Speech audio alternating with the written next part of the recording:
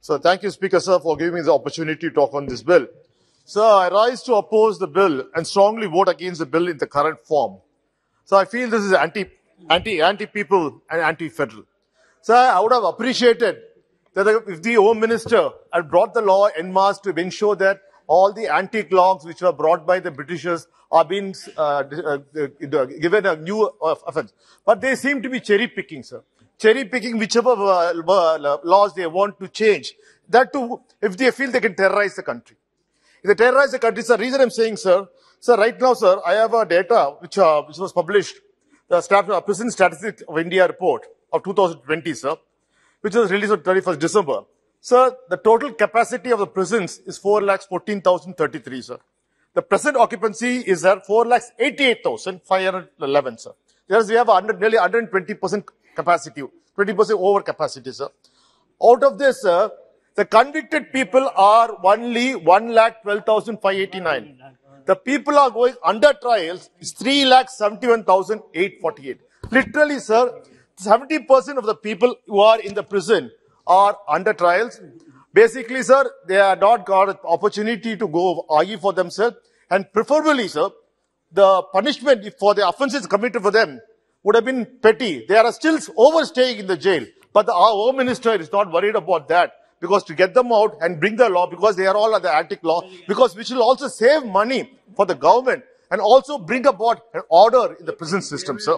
Sir, I will also appreciate if the Home Minister had come out with data by bringing this criminal procedure identification bill that he'll improve the efficiency of the police department and say that we will be able to identify the crime within 24 hours or 48 hours or 56 hours of the crime is done. No, sir.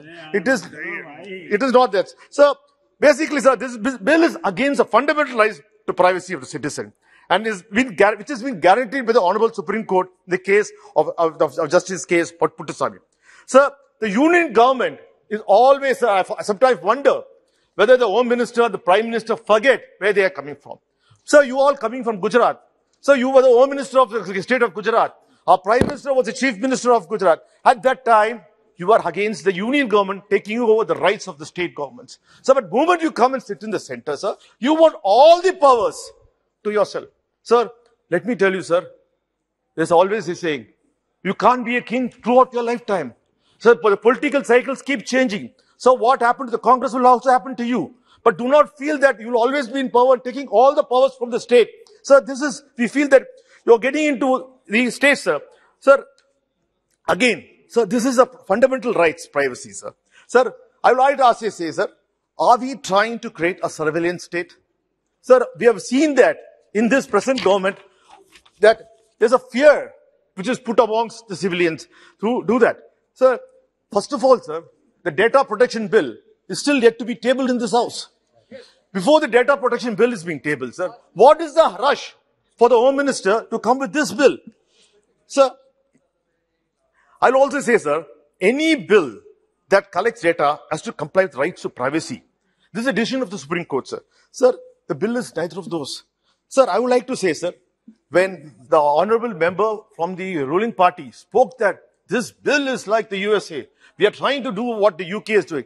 Sir, there is no fundamental rights in our bills, in our laws. Let me tell you, sir, in every prisoner, when he is arrested for a petty crime, he is made to sit, sit without in his underwear in the jail. Sir, if, have we change, tried to change that? Sir, there are custodial deaths which are taking place throughout the country, irrespective of whichever state government is ruling. Have you tried to address that, sir? No, you're not worried about that. Sir, but one thing, well, we fear that when you try to collect a large amount of data of this kind, sir, this brings a fear amongst us. Sir, you say the bill is needed right now, will help solve, solve the crisis. Sir, why do you want to hold for 75 years? Sir, the charging section bill provides that any police officer may insist on measurements to be taken of any person who is convict, convicted or who is just accused of an offense. It is an open-ended. It does not even prescribe any classification on basis of the gravity of the crime or the nature of the crime, the length of sentence. Every citizen is entitled to privacy and in any manner. So the thumb impression, signature, everything is being taken off. So when such records are stored under the guise of investigation and are shared, they are large avenues of ab abusing the same and misusing the same. Yet, you claim to be upgrading the technology of a system which is this. Sir, as a common man, I'm concerned. Sir, don't you feel that this will be misused? Targeted against individuals. Sir, your government is known to target the minorities. Any law you break, the first, the first use, abuse is done to the minor, minorities. Sir, we feel that this will be used by you, by your government to do it. Sir, when you're bringing this law, I would like to ask the Home Minister, Sir, what about Lalit Modi, sir? What about Nirav Modi, sir? What about Mehul Choksi, sir? What about Vijay Mallya, sir? They all went under your nose, through the airports, through your own airports which are guarded by you. What law did you do to bring them back? And how did you send them? You have not changed. Sir, you still now, sir, for um, Lalit Modi, your own former ministers, your former chief ministers have given statements to the UK government for their political asylum, for his political asylum. Sir, this has been recorded. You can't bring Lalit Modi back to India. Because you convey every time Lalit Modi name comes, you'll bring Vijay Mallya. But what about Lalit Modi? Who are the political, who are the BJP leaders who are given statements in support for his political asylum in the United Kingdom? There is no law. So you may say anything, but sir, end of the day, you always believe in distraction. Whenever there's a major price rise or a fuel price rise and people are talking about fuel price rise, you want to throw this and derail and distract the entire Indian population so that we keep talking about this. Sir, I would like to ask, sir, in your law, sir, the Delhi government, police comes under the Union Home Ministry. Sir, the recent chief minister of Delhi government's house was vandalized. What happened, sir? How many people were arrested? None. There was off. There are cameras there and nothing could happen. Sir, you yourself in a state, in a, uh, in a union territory, which is governed by, under by the home ministry, can't do anything. Sir, what about the JNU rights or the Delhi, uh, Delhi rights? Nothing. There are so many cameras and you decided to keep quiet. Sir, always, sir, you are in a hurry to bring laws. Sir, when the COVID situation came in, you accused the minorities. You wanted to blame someone. Subject. Subject, sir. This, this is subject, sir. Out of subject. No, sir. I, sir, sir sir, I have to say. Out of subject bolenge sir, sir. Sir, sir, sir, you are, you accuse the Tabligh Jamaat of saying that they were spreading COVID and all, you ensured that you arrested the Malaysian citizens here. What happened, sir? In reciprocation, the Malaysian government arrested the, all the Indian uh, civilians there and they were for overstaying. Sir, every time you do, it is having a, a reciprocal effect. Sir, the devil's in details. As an ordinary citizen, let me break down my concerns into three parts. What is the data being collected? Whose data is being collected? Who's collecting the data? So the bill is, what data is The bill is defined measurements to include an incredibly wide and loosely defined set of data points about individuals. You want to collect the expected medical examination referred in section 55 and 53A of the Code of Criminal Procedure 1973, which includes DNA, hair, etc. But you also want to collect finger impression, palm imprint impression, footprint impression, photographs, iris, retina scan, physical biological samples and the analysis are loosely defined behavioral attributes, including signature and writing. If we intend to use this information in applied ways, we are not allowing a creation of a fundamental da- database and digital infrastructure for a police state. Sir, there's a huge inroad into rights of privacy and is very loosely worded and open-ended. The bill is so broad, we fear it does not satisfy the two-folded che- check of necessity and proportionality. So the bill causes fear, great fear, because it is the first step towards the infrastructure needed to create a police state. The bill also seeks hold the data to 75 years. Once profiled, it will become a legal maze for an ordinary citizen to get his data removed from this database. Even if a person is arrested for a crime, be it the smallest crime, the police can exercise the power under this act and insist that all the data must be taken only after the accused proves his innocence. Even if he proves his innocence, sir, it will take 15 to 20 years, sir, it is not the finality. The magistrate can still say all the data preserved has to be preserved. And, and that's it will be there, sir. Sir, whose data is being collected? The bill expands the ambit of person. Whose measurements can be taken to include the person by the magistrate to give the measurements and allows police and prison officers to take measurements of any person who, person. Anyone who resists giving measurements, sir, will be considered under the offense obstructing public servant in, in, in discharging of public functions under section 186 of the penal code. So, to what level does the bill suggest develop profiles? Ordinary individuals who know, do not even been convicted of a crime.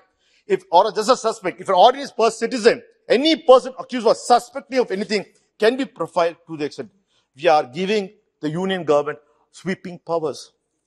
Sir, already, sir, we feel that the union government is spying on the Indians with the Pegasus software, which you failed to address. But a fact that the Israeli government has accepted that it has sold Pegasus to Indian government.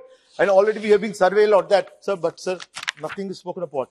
Sir, the Chief Justice of India himself made an open statement saying that the CBI and Enforcement Direct, uh, Directorate are not doing the job. They're either sleeping or overdoing. Sir, you have been using your allies. Allies means not the political allies. Your CBI, your income tax, your enforcement department, your RAW, your NI, for all your political gains. Any politician, sir, there we see they overreach. Sir, half late. You're using NCB also. NCB also has joined the alliance. alliance. Narcotics Bureau has joined the alliance. And sir, this is creating a fear. Sir, I'm not talking, sir, I have to, I'm the only speaker, sir. I'm the only, only speaker, sir.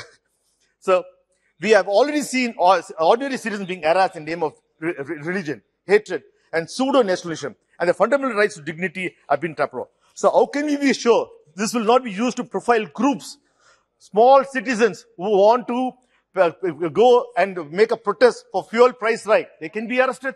Tomorrow, if people say price of petrol is gone to 120 rupees, if the gas price is gone to 1000 rupees, if they go protest, you might arrest them and you might start profiling them. And tomorrow they'll be at a preventive arrest because, sir, you are getting into the every domain. Sir, and who's collecting the data? So you seek to empower the National Crime Records Bureau of India to collect, store, and preserve the record of measurements and for sharing, dissemination, destruction, disposal of records. Currently, as prisons and polls are state subjects, how do you see the interaction between these two? It is not encroaching to the state subject, sir. That apart, the present bill confers unbridled powers to the police officials and prison officials and always keeps their rights of center works at the mercy of different investigations. So the bill says that all data that has been collected will be stored with the National Crime Record Bureau for the purpose of prevention, detection, investigation, sir. So all data sample will be stored at the national level, processed with the relevant records and given to the, any law if, uh, enforcement as prescribed. Sir, I understand the prison management is subject of importance and you're naturally interested in consolidating the center's power, but you cannot have such blatant disregard to the state's autonomy and the independent functioning of such matter. I fear this law could be misused, misused. Sir, and I feel, sir, the very fact that when, say, Home Minister brought a law for the a uh, citizen amendment bill in this, I had raised a point to the Honorable Home Minister and said, you are not the Home Minister only for North India, for the entire India. Sir, today, when we said you laughed at us, you said it's not important. Today we have an issue. Sir, today Sri Lanka, our tiny island, Sri Lanka, is in severe economic crisis. Refugees are pouring into India. There's no law. There are Muslims also coming. But sir, we pleaded you, don't do that. Don't, don't boycott the Muslim. Bring, a, bring, make it inclusive. Today we have a reality. Sir, in your own government, in your own term, as a home minister, you are realizing such impossible situations are happening across the world. So COVID is bringing a lot of changes. So now, what are we doing? Those refugees who are coming into our country are being arrested. Sir, I'm saying, sir, please have a wider scope. Sir, this law, first of all, sir, the data protection bill has to be tabled. We have to know what data can be protected. And moreover, sir, you have to give clearly how you are going to protect this data. So when this data is going to be uh, given to all multiple agencies, how sure are you of privacy of an individual citizen? I'm not talking like a lawyer. I'm talking like a common man. How sure that my data will not be misused or given or sold to anything? Sir, and right now, sir, we see our own system, our web pages, in our government web pages being hacked. Sir, how sure that, that uh, you are bringing in systems to protect this data? Sir, please don't be in a hurry. Sir, please stop terrorizing people. Sir, there's a need. There's other laws which you have to do. Keep this as a law priority. Yeah. Please send it to the standing committee. Let it go to the new process. I request the Home Minister, sir, like the CAA, you were in a hurry and see what happens, sir. Today, please don't be in a hurry trying to terrorize people, sir. I'm sure, sir, the Honorable, Honorable Home Minister will definitely give a good uh, thinking on this and will not be a rush after seeing whatever he has done, sir. I respect the Home Minister. That's the right thing. Thank you, sir. Thank you for giving me this opportunity.